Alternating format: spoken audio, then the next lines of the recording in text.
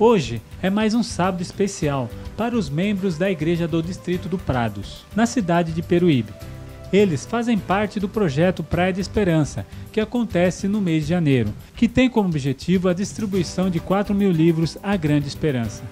A distribuição do livro acontece com as divisões de grupos, que percorrem as ruas e avenidas dos bairros, que envolveram cinco igrejas do distrito. O envolvimento na missão de propagar a mensagem de esperança trouxe um sentido especial na vida dos membros. Agradeço a Deus por estar aqui, porque assim eu tenho certeza que eu posso levar mais pessoas a Jesus através desses livros.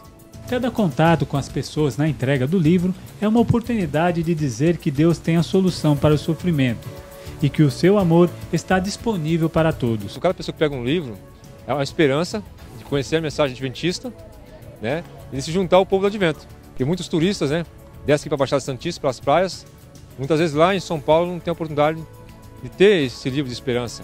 Este entusiasmado evangelista Mirim anda sempre em ritmo acelerado.